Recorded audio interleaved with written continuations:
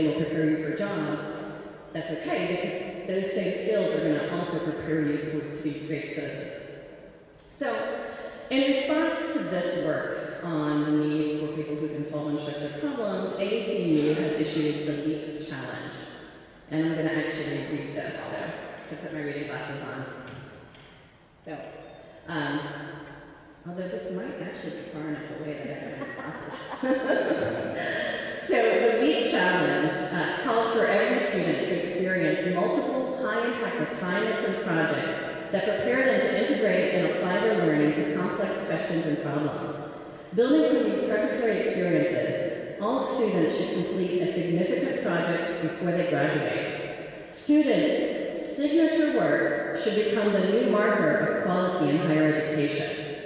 So this is AACU's design solution for a world of unscripted problems. It's that every student should complete signature work. So earlier, I, you know, we talked about the emerging digital ecosystem. What does signature work look like in the emerging digital ecosystem? I think Laura mentioned some of the qualities earlier. It's stuff that lasts. It's stuff that students can take with you, take with them. Um, but let me share a couple of examples that I've seen. And I will say I've seen just even yesterday, several of the presentations, and I think coming up today, I saw presentations that really do meet those criteria of signature work. But here's some more examples for you. So one example might be the Century America Project. This is a project of the Council of Public Liberal Arts Colleges. Uh, for this project, uh, students at each college in the, in the consortium participated in an inter-campus collaborative class taught by two faculty members. Uh, one was Jeff McClurken at Mary Washington University. And they met twice a week. They studied um, digital humanities, digital history, tools, and methods, but they also studied the Great War. Uh, it's called Century America because the project started in 2014, which is 100 years after the start of World War I. So, although they were studying the sort of dominant historical narrative about the Great War, students also participated in independent projects that focused on the experience of the Great War in their own communities. So here's a project from Truman College in Missouri. Uh, it collected letters from the local community, um, and letters were digitized and then they're shared on this website called No Man's Land.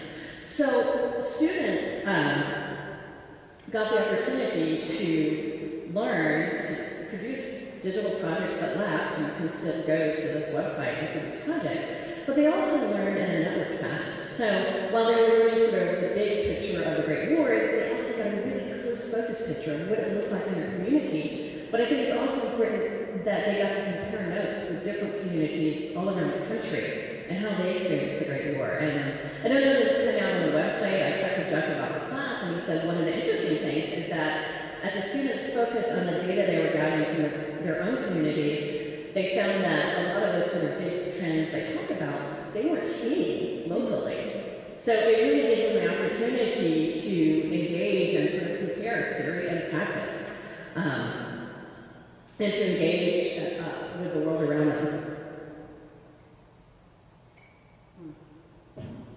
Sorry, no, I gotta have three cups of coffee every day. This is my thing.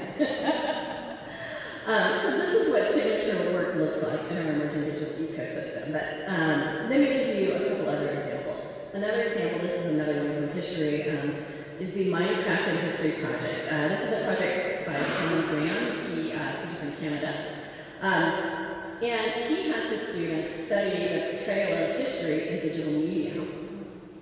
Uh, and the final project that they do for their class is they actually create Minecraft worlds that embody uh, what they've been studying. And they were given three sites, history of the Ottawa Valley, uh, Canadians on the Western Front Number One, or they could do uh, colonization and resistance in the Roman Empire. And they create these Minecraft worlds. But that, that's not the only thing they do. They also have to write a paper alongside it that actually explains the choices they made. Why did they decide to portray things in this way? what is the data that's behind their portrayal? So it's not just, you know, my son created create a Minecraft but they actually had to have the research behind what it was they were creating. So this is another version of what a signature work might look like, engaging in this kind of ecosystem. All of this is available on uh, Sean's GitHub site. GitHub is a version tool for producing software. So you uh, actually go download these Minecraft worlds and play them if you're interested. Um, or consider the uh, projects that are showcased in Lewis and Clark's interdisciplinary initiative, situating the global environment. These are projects that combine high-impact practices like undergraduate research, community engaged learning, and study abroad with social media and digital tools. So students are doing research while they're abroad, they're engaging with the communities, um, and all of this is aggregated onto one website and ends up producing shared bibliographies, uh, shared data, um, shared concept maps, so very collaborative, and it's something that aggregates over time. So multiple semesters, these projects are happening and it's all going to one website. So you kind of see sort of things aggregating and building up. So like many of the projects that I heard about yesterday, these are a great example about what is possible to produce in our emerging digital ecosystem as we're thinking about helping students produce signature work. I love all these projects, but I have to tell you, it's not enough. Right? Because think about it. If you have that one isolated professor who's doing that great digital assignment, yay! but that professor's going to have to work very hard if every other professor at the university hasn't been also participating and thinking about this. So the next design challenge we need to think about is how do we scaffold signature work in the emerging digital ecosystem? How do we prepare students to get to the senior level and be able to create the Century America Project, Minecraft History, situating the global environment? We need to think about ways to build these skills into the curriculum. And so yesterday, when I heard about Bryn Mawr's project on digital competencies, I was excited to hear about that. Uh, do you guys know what their projects? I know, what is it? Is it Huka College? What? Koika. Koika. So if you're here from there, I want to talk to you. College. Uh, and their project that's also focused on digital literacy. Uh, I know Virginia Commonwealth University also has started a project to um, redesign their little education, their general education requirements around the concept of connected learning. So we're starting to see colleges and universities engage in this, think about how do we scaffold this across the curriculum. And this is really getting beyond information literacy. I think that's part of it. But it's really how are we creating digital agency? And that's what we need to think about doing. So just to help you think about that, I'm going to give you my vision of what it would look like, what it would take to scaffold signature work in the emerging digital ecosystem. I think we might start out with something like social annotation. And I know there's a um, Salon 3 workshop later today, uh, although I have to give a shout out to my colleague Mike who's presenting at the same time in another workshop. so I can't recommend one without the other. Um, but, you know, reading is one of those skills uh, that we all think our students know how to do when they come to college. And yet sometimes we're not really sure how they're reading. We're like, did you do the reading? And if you what were you doing? So I think one of the great things about social annotation is that it actually helps us surface reading practices. Um, so this is actually a screenshot of Classroom Salon, and if you notice, uh, there's highlighting over here on one side and annotations on the other side. What's interesting about the highlighting is there's like one little piece that's in red, and that's a passage that was highlighted by more people. So you actually get a heat map of how students are reading. And if they do this before they come to class, you could look at that and actually figure out if they, they were asked to highlight important concepts, then you can see, did they get the important concepts? Is this a red herring? sorry about that. Um, and, you know, it's interesting. I talked to someone who uh, uses another tool called uh, MIT's Annotation Studio. And she found that actually, often her students weren't getting it. And so this was really instructive. Another way you might use this is by asking them to highlight annotate where they have questions. And this can kind of guide what you do in class. Um, Students are also modeling for each other how to read. Um, I think reading is, you know, one of those interesting things that to me reminds me of really the shaker and the technology, right? Just as we all assume they can read, but then realize they can't read critically, you know, we all assume, yeah, they come to college, they know how to use technology, but they probably don't know how to use technology critically. And that's what we need to be building. Those are the kind of skills we need to think about. So, um, engaging critical reading through social annotation might be one place to start. We should also probably start off thinking about data and getting them to collect data. So one way to do it um, is uh, by, in like science classes, having them go out and collect data in the world around them. Um, one tool that you can use for this is an app called iNaturalist. Anyone used this one? Yeah? Oh, cool.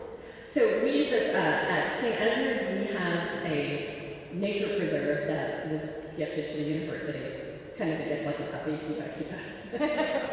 but um, so uh, you can go out to, to the Wild Basin uh, Natural Research Area and you can use the iNaturalist app to take pictures of flora and fauna. This is a special type of crowdsourcing called citizen science. Um, the uh, director of Wild Basin created the Wild Basin Biodiversity. And this uh, picture is actually a few years old, but all those little points on the map are places where people had captured data using the iNaturalist app. It all feeds into one database, it's mapped so you can kind of see where they were on the wilderness preserve. This data, in turn, becomes a source of data that other more advanced students can actually use to study. So a lot of this data is actually field trips. Elementary schools come out here and do field trips that they you can hand them phones and they can take pictures and uh, it'll feed to this. Um, this becomes something that at ARIS is termed generative scholarship.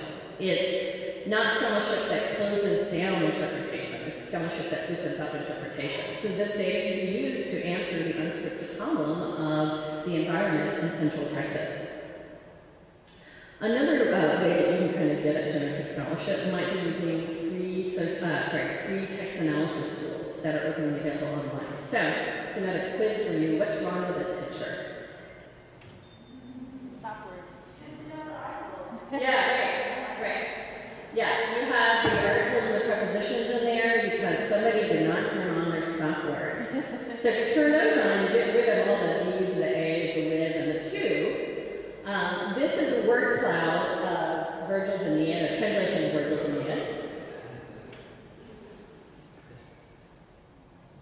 I assigned this to students in my um, intermediate Latin class, and I didn't tell them about stop words. I wanted to see if they would figure it out on their own. Some of them did, and some of them didn't. Even though I pointed them to a site where they could read the directions. see, they need agency. um, they need to figure out how to keep pushing, right? They need persistence and grit. Uh, so uh, what was interesting about this was even without the stop words on it, it actually helped my students gain insight into Virgil's use of the ablative and the dative, which is something I've been telling them all semester, but until but when they saw it visually, that's the prepositions that keep showing up here. It actually kind of brought the point home. Once we turned stop points, stop words on, it also became a starting point for discussion about themes in Virgil. So this wasn't where it ended, but this is where it started. And this kind of quantitative approach to text analysis was actually interesting because while I had some students who were classics majors who were all about doing sort of literature, close reading of tags, literary interpretation, for students who this was their last language class before they went on to their other major, um, this kind of quantitative approach gave them another way into the text. So it was actually kind of really interesting. You know, it made sense to think about, oh, okay, this is a list of words, and if something shows up more often, maybe important. Uh, so that's another way we can help them engage with digital tools. As we move into the intermediate level, we return to the world of the Fitbit. So um, we need to help students gain agency in looking at their own personal data. So an assignment that did this at St. Edward's, uh, Mike Wasserman, professor of environmental science and policy, he taught abroad in France last fall, and he got a grant, uh, internal grant uh, from IT to buy Fitbits for all of his students. And he wanted to test the hypothesis that the more you interact with nature, the healthier you are. So he had students tracking their personal data, so things like sleep, steps, um, heart rate, and then reflecting on it, and also tracking what it was they were eating in France, what kind of activities they were doing, how often they were engaged with nature, to kind of see is there a difference between what I'm experiencing in France and when I'm getting back home? One of the uh, interesting things that happened was that um, they were over there during the Paris attacks, so he was actually interested in going out, maybe something else to study and do this like that. But this is something that helps students engage with their own data. Um, we also thought it was interesting to have a university essential learning outcome on physical and um, emotional and well-being, and this is one that we tend to think happens in the co-curriculum, but is actually engaged in the curriculum.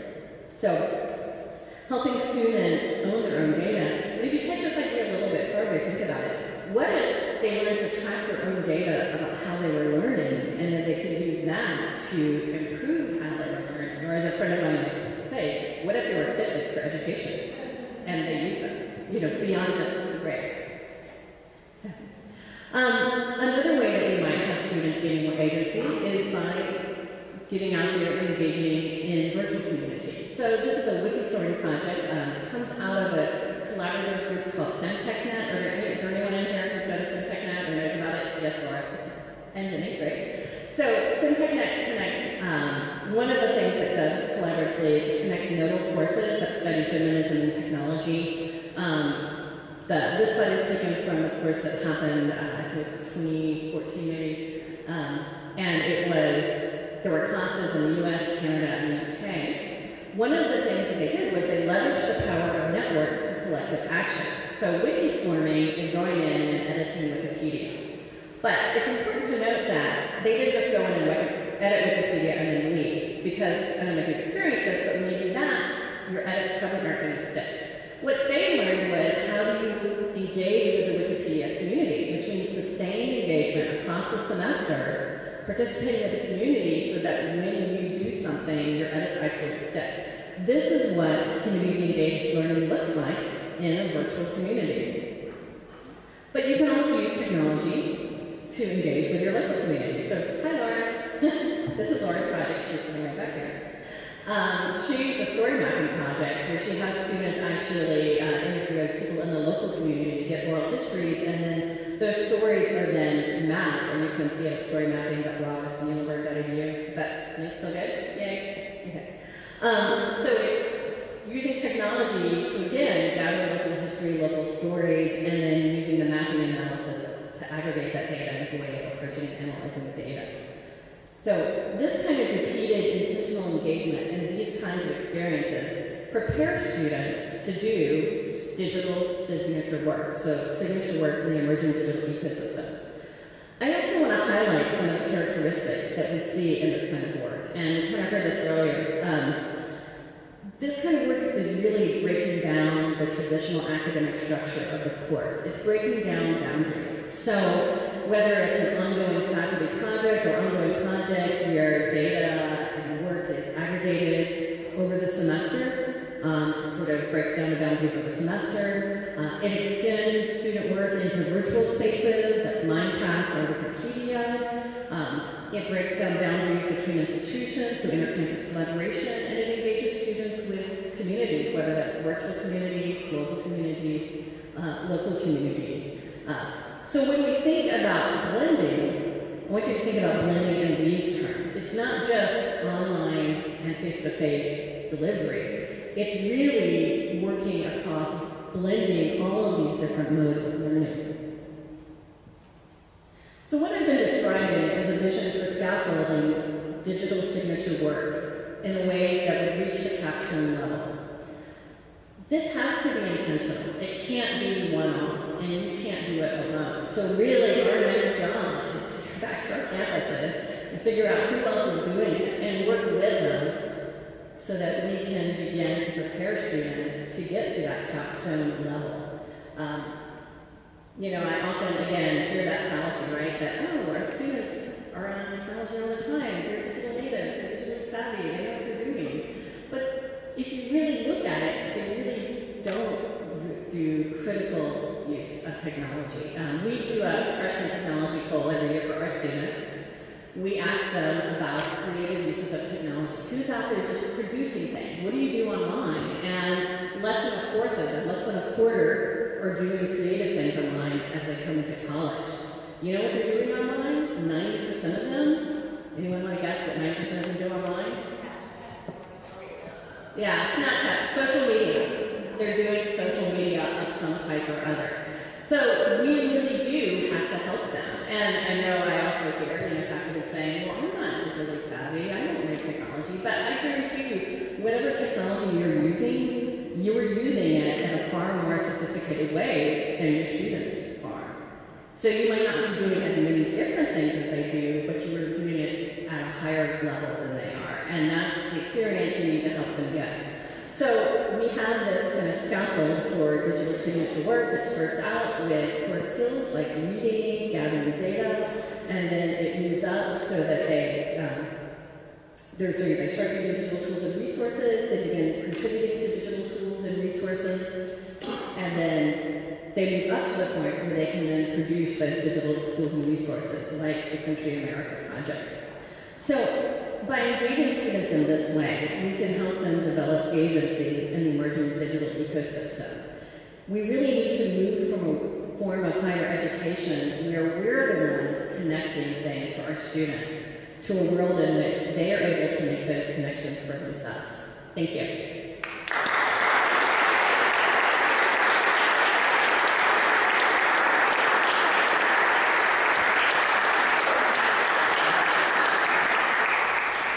And I think we probably have a few minutes for questions. If anyone has questions, comments, things you want to share? Yes. With the picture of your son, David, and streaming, did that kitchen timer, was that effective?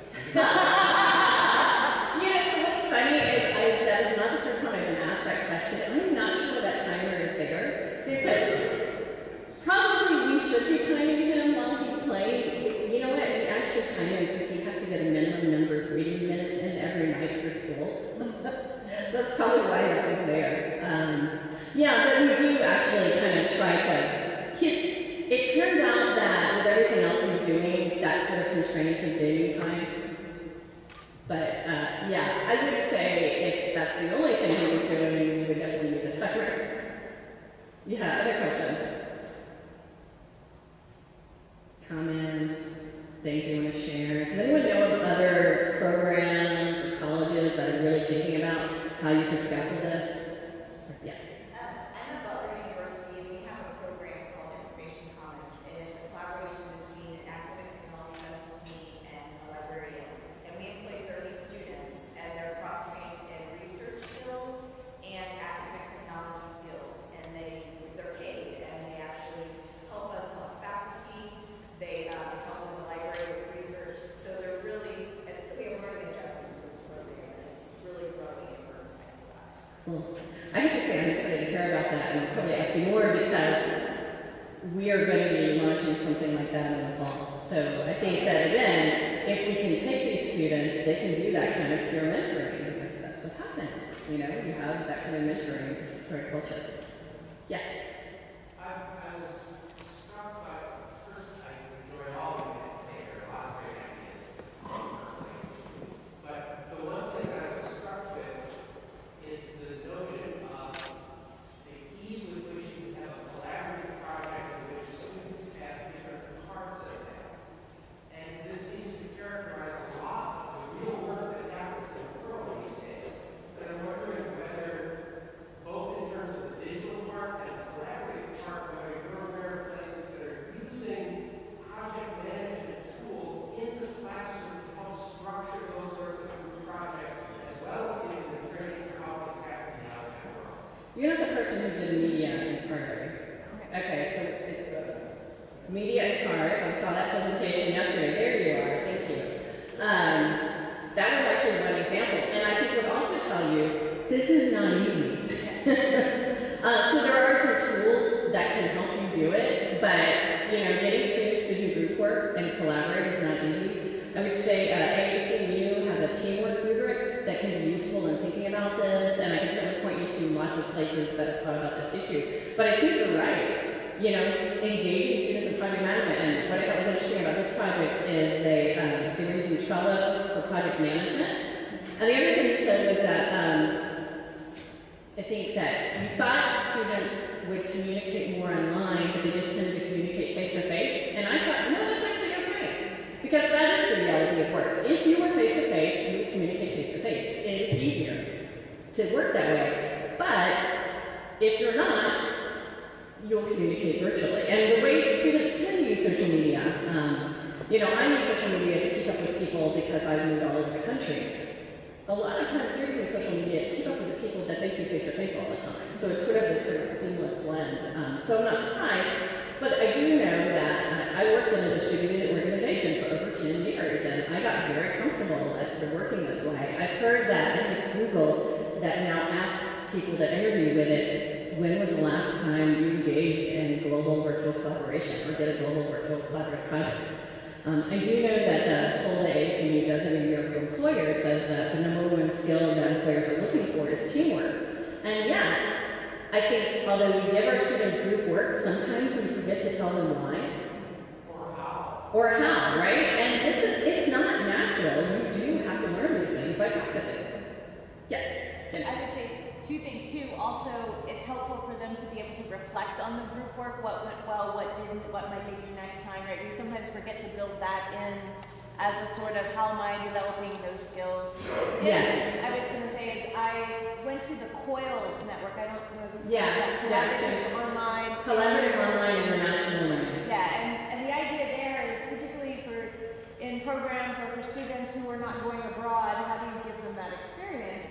Well, one of the things I came away with as someone from a residential liberal arts college is if you so our students don't chat because they see one another in the hall, and they've told me this. You know, it's like, well, why would I go and post this online because I'm going to see her tomorrow, you know, or whatever.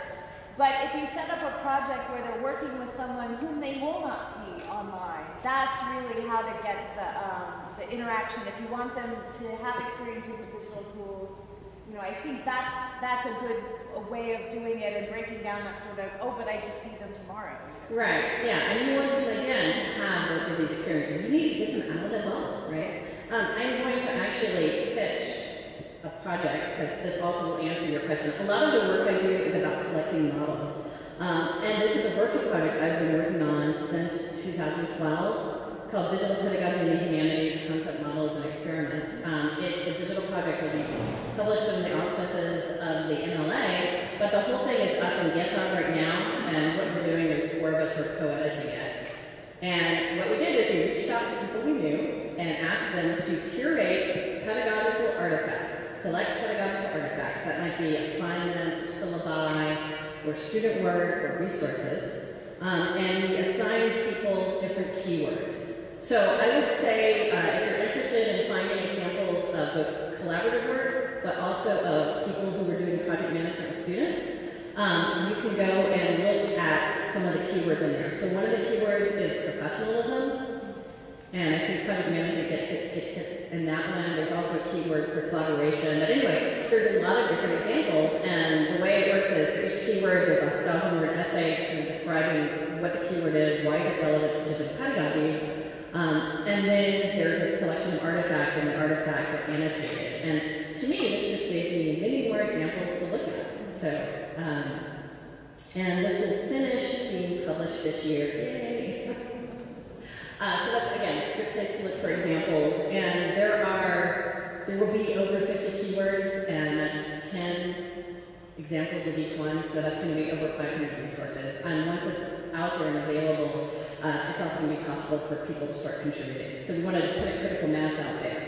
Our other thesis is once it's all there, we're going to step back and reflect and say, well, what is digital pedagogy? And you've heard a little bit about what I think that is today. So, um, Sharon, you're the right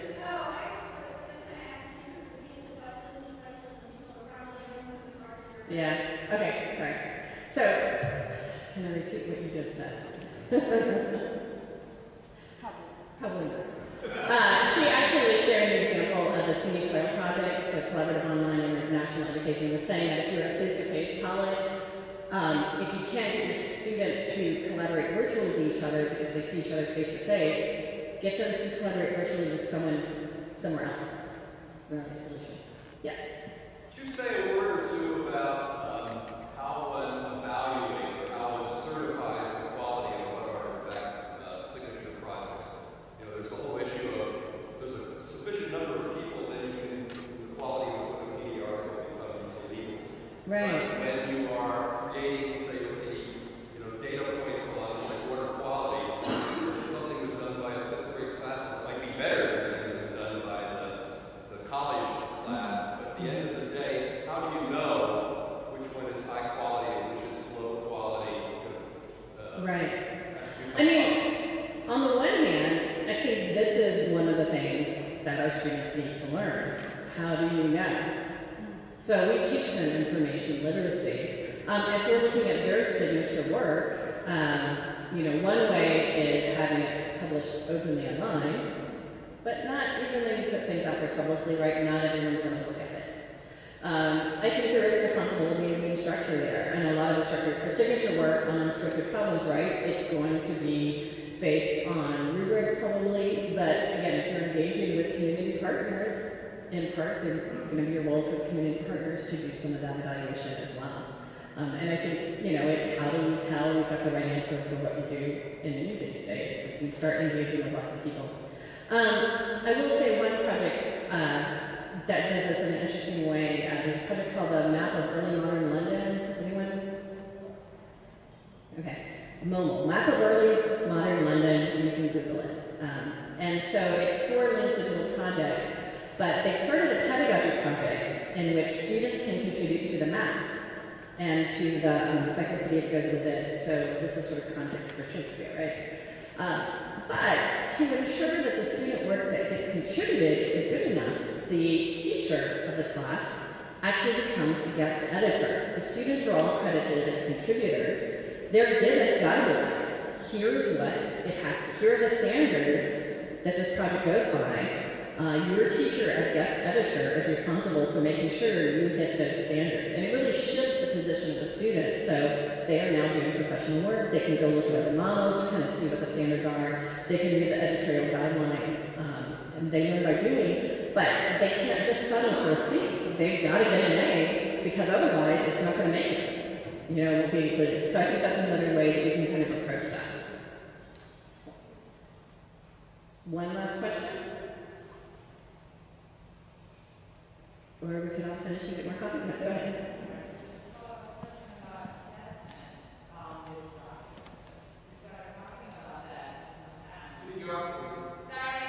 So, How do you assess projects that you assign and then you don't account for them rather than, uh, one specific course?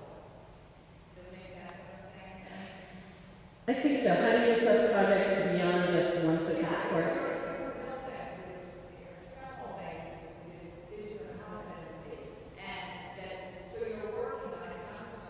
Mhm.